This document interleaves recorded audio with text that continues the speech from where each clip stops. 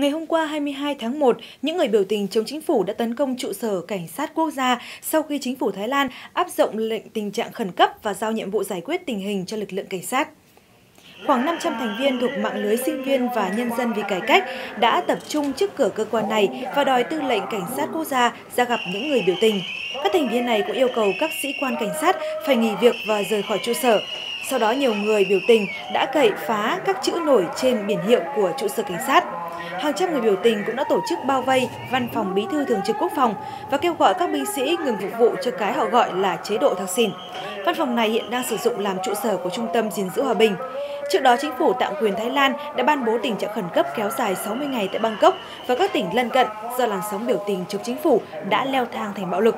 Lệnh này có hiệu lực từ ngày hôm qua 22 tháng 1.